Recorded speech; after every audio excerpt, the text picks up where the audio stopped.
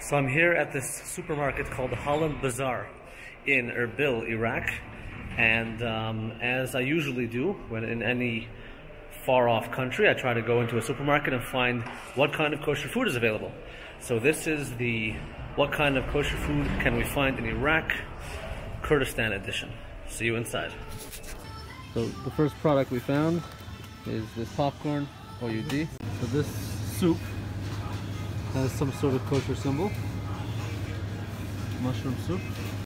Obviously the fruits and vegetables are kosher. And of course we have the Arizona tea, which is kosher.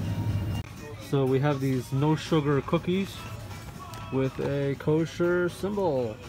These kidney beans from Goya are kosher. ShopRite pinto beans, kosher. Goya garbanzo beans, kosher. Basso grapeseed oil is kosher. American Dream ketchup, kosher. Caramel syrup, kosher. Kellogg's dark chocolate cereal, kosher. So I'm back in the car after leaving the supermarket, and one of my friends bought a product that I did not notice is kosher. We have this Ocean Spray cranberry juice cocktail. And uh, yeah, so that was the what kind of kosher food can you find? Kurdistan, Iraqi Kurdistan edition. See you next time.